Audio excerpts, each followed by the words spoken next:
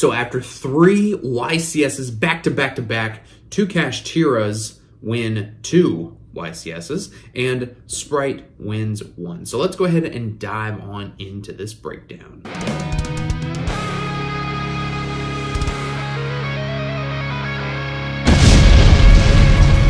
Hello, ladies and gentlemen, it is your host with the most, Avery LR32 here, and destroy the ever-living boo-boo stain off of that subscribe button so we can climb even higher, the 1100 ladder. I'm sorry that I didn't stay up until 2.30 in the morning Eastern time to film what won the Los Angeles YCS. I had started a brand new full-time job today. We're working 9 to 5. The hours are not too bad, but your boy's definitely tired. So I figured that we would just talk about the breakdown in general a lot of different decks, top 64 and 32 and 16, all of these events. One that I want to specifically look at is the 250th YCS in Los Angeles. And I made a community post about this, and someone who I guess just doesn't like Kashtira, nothing against that, um, was saying how, oh, it's not a diverse format because there's so many Kashtiras in the top 16 and blah, blah, blah. And the community post that I had made was talking about how in the top 16 of the 250th YCS in LA specifically, there were 11 different deck types in that top 16. You know why that's important? Because back in hat format at YCS Philadelphia in 2014, there were 11 different deck types. You can make the argument that this format is as diverse, honestly, if not more diverse, than fucking hat format. And I think that that's amazing. Now, the there was, like I said, someone who commented and was like, well, Kashtira took up 17 spots and blah, blah, or however many spots it was. They're taking up so many spots and blah, blah, blah. This isn't a diverse format. And in response to that comment, I said, that is true. However, there's always going to be a deck that has the most fucking representation. Like, it's not going to be equal across the board where there's literally 1% of each deck. Like, we I don't think we've ever in the history of Yu-Gi-Oh seen a top 16 where it's been literally 16 different decks. That just doesn't happen.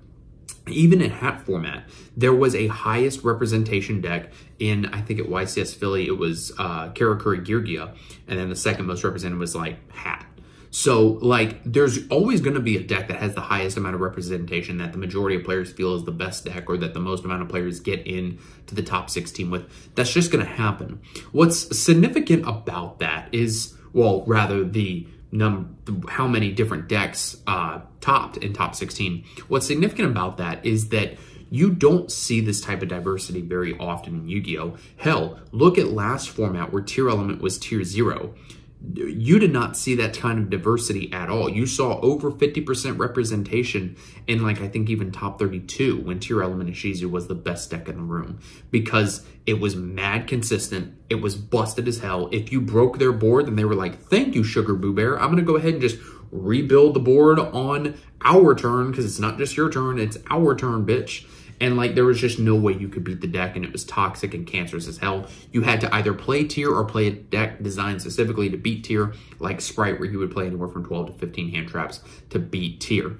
Now, obviously there were a couple Spright decks, different variations of Spright. I don't really consider those different deck types in the top 16 because it's still fucking Spright at the end of the day. If you're running a Spright engine, like, you could argue it's a Spright deck. Like, Spright Adventure is just an adventure engine with a Spright engine, and you're off to the races, and you might throw in some fucking hand traps. Like, that's just the way that it is.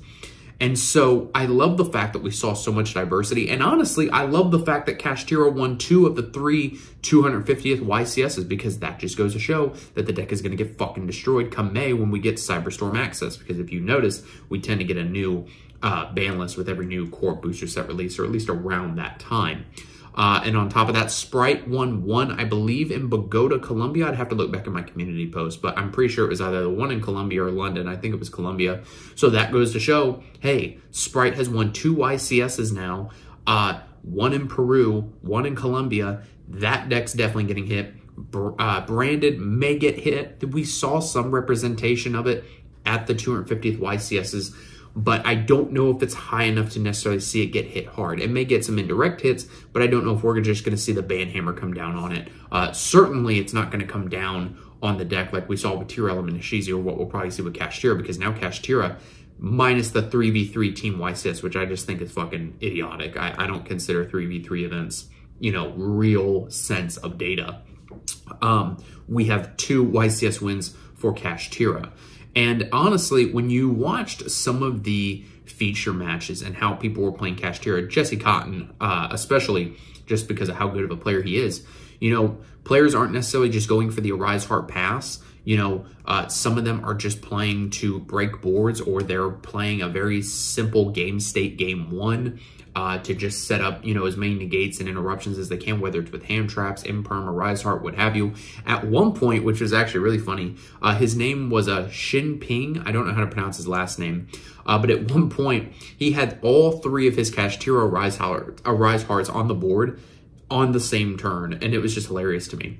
Along with that, something I noticed, which I don't know if it's because like players are in a feature match and they just want to let it play out, but players weren't scooping really fast. And I don't know why, because to me, you're just wasting time on the fucking clock. Specifically, when uh, Shin Ping was going against, I think his first name was Kevin. Um, Kevin was playing Rikka Sunavalon and Shin Ping was playing Kashtira. and Shin Ping established three Arise Hearts on the board and like a Big Eye to take the one monster that Kevin had left. And Kevin's just sitting there sh shuffling his hand. And it's like, bro, you ain't got no plays. Scoop, go to the next game. And like, meanwhile, the clock is just ticking down from 45 minutes on down.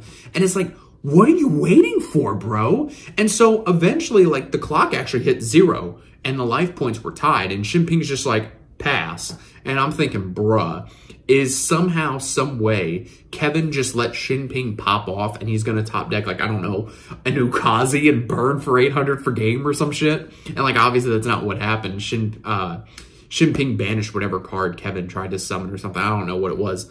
Um, but, like, Kevin just had to scoop. And, like, literally, I think it was like a solid three or four minutes went by. Shin Ping's just popping off.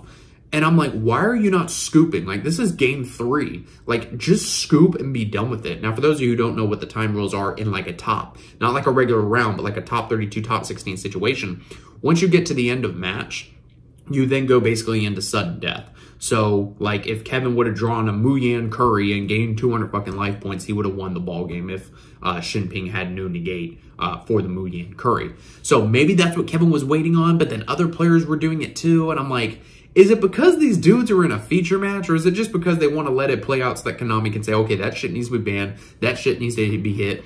I don't know why. Like, I think I literally saw a feature match where there was 15 minutes left on the time clock, and they played it out all the way to like fucking seven minutes left. And I'm like, bro, you could have scooped back when the clock was 15 minutes. You had no lines of play. You had nothing to do to break his board. Why are you still playing this out? So I, I don't know. Just shit like that infuriates me because I already feel like the live stream event coverage is so fucking slow. And I, I, I don't know why players aren't just like trying to play faster. Now I get in feature matches, they have the judges sitting there. They need to make sure that they're keeping um, a fair game state. So obviously the judges may have to pause the game state, make sure that what's happening is correct. That could potentially slow the game down too. But like if that's not the case at all, like man, scoop up your cards, go into your side deck, just play the damn game, man. Like, man, I would honestly, honestly, I'd rather watch a Mystic Mine Mirror match because that's basically what you're doing at that point. Like, if you're in a feature match, th this is to all you future players who might get a feature match. I've never had one. I would love to get one. I've just never had the opportunity. Plus, I've only ever been to like two YCSs here in Florida um, and one in Georgia. We hardly ever get YCSs over here. If you're in a feature match and you know you're going to lose, just scoop them up. Don't waste time on the clock. I get maybe your nerves are getting to you because it's a feature match. Just act like it's just another like YouTube match that like you're playing in at your locals. Like don't even just ignore the cameras. Like it don't even matter. You know, just go in, they start popping off, you know you're gonna lose. Scoop! Save time on the clock. You got your ass beat in that game. Go to the next game and you'll 2-0 their ass. It don't matter. So that, that was just something that was really bothering me. Like, this is why I hate watching feature matches unless it's like the finals, because I can't sit there for hours on end watching dudes just arise heart after arise heart or runick Naturia after runick Naturia, and they're just so fucking slow. And like, I'm not saying these players are slow playing, but it's just, that was the biggest thing for me out of watching the live stream this weekend was just, it was so fucking slow.